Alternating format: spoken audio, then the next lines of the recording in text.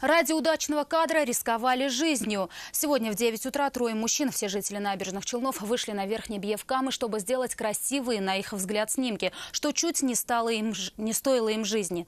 Лед откололся и стал уплывать от берега. Айрат Назипов узнал, чем кроме страха теперь может обернуться для них желание сделать красивые селфи. Один из мужчин смог выбраться на берег самостоятельно. Двух остальных вызвали сотрудники зонально-поискового спасательного отряда. Обломок льдина находился в 500 метрах от берега.